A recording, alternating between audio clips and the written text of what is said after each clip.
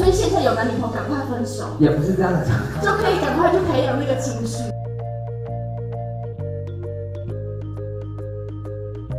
试镜的时候，大家要秉持一个很重要、很重要的一个重点，就是要不要脸。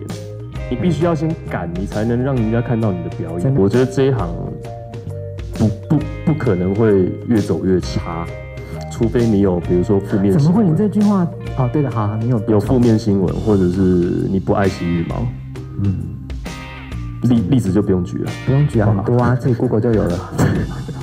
时间是会随着你的经验成成哎这个方向成正比往上的。嗯，就是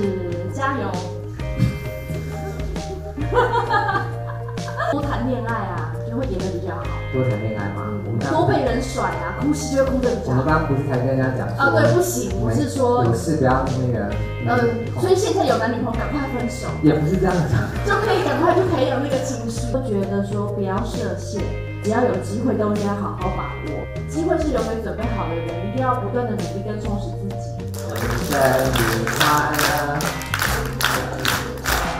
就是先先有开场白，不用了啦。要了要了要了，然后我们今天在我你开场白真的很长哎、啊，在好我那我长话短说，也不要长话短说，你也可以说更多有的，不用你那边跟他们客套来客套去。对啊我就我觉得呃专业的领域有老师会教你们，我没有什么资格帮，其实就是教大家。但是我可以跟他们我分享一下我的一些经验，对对对对对对对，我没有紧张，我没有紧张，对对。如果有了梦想，你就要尽力去做。你想要当影帝，你想。要当影后，你想要当谁谁谁第一，我觉得很好，但是你要怎么去实现你的梦想？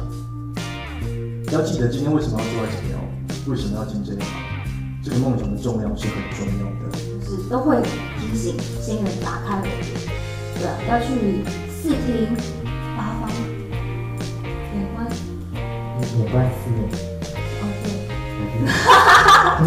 把握每一个可以上或机会的时光，然后去享受，不要不用想要表现的淋漓尽致，但是我觉得是放松，因为放松总是可以在最好最松的状态会让你呈现最好。